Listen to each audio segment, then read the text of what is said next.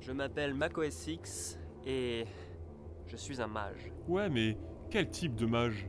Ben, un mage quoi. Ouais, mais quelle spécialisation? T'entends quoi par là? Ben, genre un ensorceleur. Non, bof, euh, ça fait pas trop de dégâts en fait. Un conjurateur. Euh, invoquer des tabourets, c'est pas vraiment top prestige, tu vois. Un enchanteur? Mais pourquoi faire? L'argent et la manipulation sont là pour ça.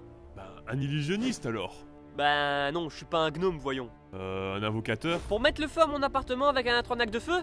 Ah, non merci Pourquoi pas un transmutateur alors? Ça m'a l'air un peu trop bourrin ton truc là.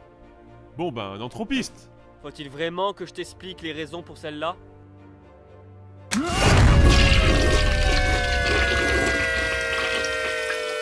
Je m'appelle MacOSX et je suis un mage. Un point c'est tout. Et toi? À quoi tu joues?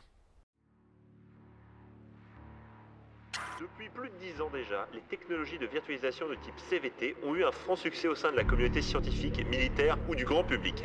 Pourtant, des zones d'ombre persistent.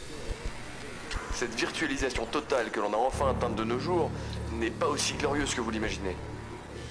Beaucoup de progrès ont été réalisés en ce qui concerne les traitements psychologiques des personnes en usage intensif des CVT, notamment dans les laboratoires Game Life. Nous vous rappelons que grâce à la sortie de notre toute nouvelle interface G3, vos données virtuelles pourront être sauvegardées dans votre propre mémoire sans risque de perturbation. Nous sommes entrés dans le véritable futur de l'informatique, vous vous rendez compte?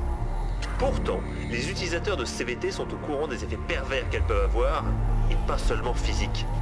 La loi ne réglemente pas encore ces aspects à long terme sur le mental des gens, surtout pour ceux qui consentent à ces épreuves. C'est très difficile d'en tirer un accord. Ça s'est vu pendant des années avec les jeux vidéo.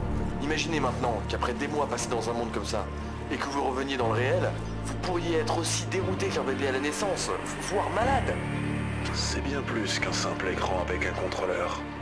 Rester des semaines immergé ne changera pas seulement vos réflexes, votre mémoire, votre manière de sentir le monde.